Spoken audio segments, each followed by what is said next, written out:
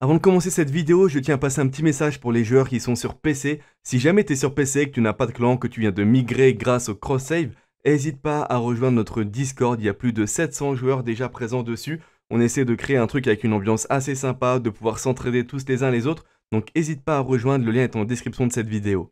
Salut mon pote, bienvenue sur cette nouvelle vidéo, j'espère que tu vas bien. Je te retrouve aujourd'hui pour te donner les dernières nouvelles présentées par Bungie alors dans un premier temps, on va parler des nouvelles qui viennent directement de la Bungie Weekly Update concernant Destiny 2, donc dans le futur vraiment proche, ce qui va se passer au mois de septembre et très prochainement. Et après, on va parler de Bastion des Ombres. Il y a une interview qui a été donnée hier par les développeurs à la Gamescom. Il y a un article qui est sorti sur internet. Et du coup, je te donnerai les principales informations qui en ressortent concernant la prochaine extension. Allez, je vais commencer tout d'abord avec les informations qui ressortent de la Bungie Weekly Update de hier soir. Tout d'abord, Bungie va mettre en place un nouvel événement qui s'appelle Défi de la communauté. A priori, cet événement aura lieu chaque mois, donc pour le mois de septembre, il concernera la planète Mars. Le but est de rassembler la communauté sur un défi commun pour débloquer des récompenses communes à tous les joueurs. Alors bien évidemment, il faudra quand même participer un minimum à cet événement pour pouvoir débloquer la récompense. Ce premier défi aura lieu du 3 septembre à 19h au 10 septembre à 19h et les objectifs sont les suivants. Alors bien évidemment, vous allez voir que les objectifs sont assez importants, mais qui concernent l'entièreté de la communauté. Donc ça paraît énorme, mais pas tant que ça finalement. Il va falloir éliminer à nous tous 175 000 boss de la 7ème vague du protocole intensification. Alors j'ai refait du protocole hier soir, moi. Euh, ça faisait longtemps que j'en avais pas fait. Et maintenant, en fait, quand vous terminez la vague 7, vous pouvez relancer dès la vague 6. Si vous relancez assez rapidement, vous repartez de la vague 6 et pas de la vague 1 comme avant. Du coup, ça, c'est vraiment rapide et c'est vraiment pratique. Je ne savais pas, j'ai découvert ça hier soir. Du coup, voilà, il faudra éliminer 175 000 boss de la vague 7 du protocole sur Mars. Ensuite, à nous tous, il faudra éliminer 300 millions de membres de la ruche sur Mars. Au niveau des nuits noires également, il faudra éliminer Nocris 150 000 fois, Exol 100 000 fois. Et enfin, il faudra utiliser 300 000 fréquences d'annulation. Les récompenses sont un emblème, donc je vous le montre à l'écran. Alors pour débloquer cet emblème, il faudra au moins avoir fait une nuit noire sur Mars entre le 3 et le 10 septembre. Voilà, au moins avoir participé un minimum. Alors le but, c'est pas de faire juste une nuit noire. Le but, c'est que tout le monde participe. Donc si jamais vous pouvez lancer un petit peu de protocole, chacun de l'autre côté, voilà, si jamais toute la communauté se concentre sur les objectifs, je pense que ça pourra être assez rapide. Et ce qui serait vraiment sympa de la part de Bungie, c'est que directement dans le jeu, on puisse voir où en sont euh, les différents objectifs. Comme ça, on sait que voilà, on est en avance ou en retard, les derniers jours, il va falloir farmer un petit peu plus. Ça serait vraiment cool que Bungie intègre ça au jeu pendant cet événement. La deuxième récompense, c'est qu'on aura en gros des récompenses supplémentaires lorsque l'on terminera la ménagerie. A priori, on aura deux récompenses dans le coffre final, on aura également une récompense ajoutée chaque vendredi dans la ménagerie.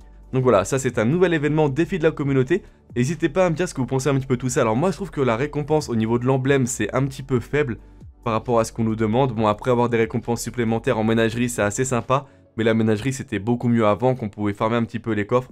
Donc voilà, les récompenses, je trouve un petit peu faibles. Peut-être que Bungie devrait les, réajuster un petit peu plus au niveau des prochains défis de la communauté. La semaine prochaine également, Saladin revient avec la bannière de fer, donc le 27 août à 19h, c'est le retour de la bannière jusqu'au 3 septembre prochain. Par contre, euh, les points de courage seront doublés comme d'habitude, donc ça c'est plutôt bien.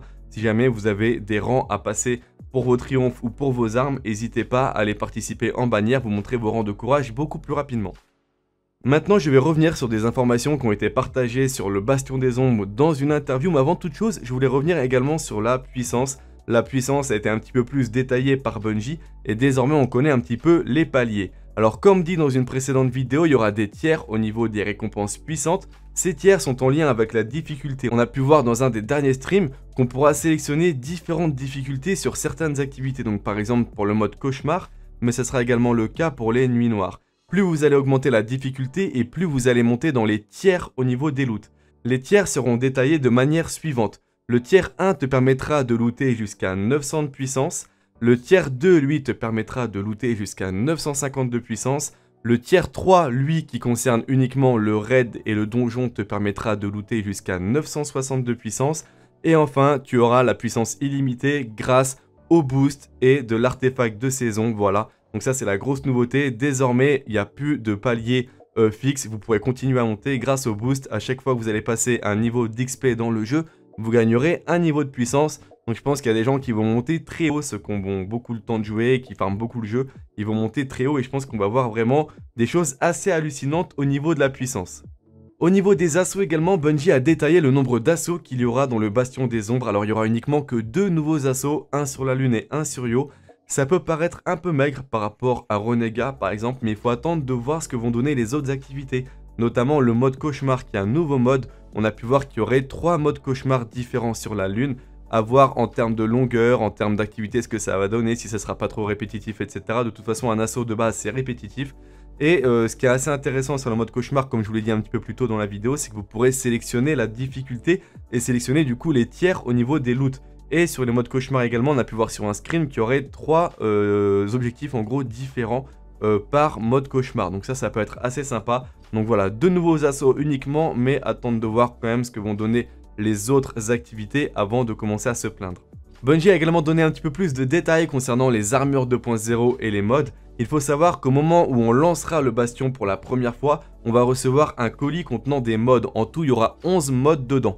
Alors bien évidemment, on n'aura pas les modes les plus rares du jeu, je pense qu'on aura les modes de base, mais on pourra ensuite en récupérer en ouvrant des colis chez Banshee, dans les engrammes légendaires, en complétant des quêtes, on pourra également en recevoir en réalisant le raid, alors bien évidemment ce sera des, des modes propres au raid, dans le donjon également, enfin voilà, il y aura plein de manières de pouvoir récupérer les modes, mais il faut savoir que dès qu'on va lancer le Bastion des Ombres, on aura déjà un colis contenant 11 modes qu'on pourra euh, commencer à équiper sur nos armures. Par exemple, les armures du Solstice des héros qui passeront en 2.0, on pourra commencer à équiper des modes dessus dès le 1er octobre. Il y aura également certains modes qu'on pourra débloquer via l'artefact de saison, mais ce sont des modes temporaires qui disparaîtront à la fin de cette dernière. Et enfin, Bungie nous a dit qu'il y aurait également des armures qui recevront des emplacements de modes supplémentaires. Ce sont les armures du prochain raid sur lesquelles on pourra bien évidemment équiper des modes de raid.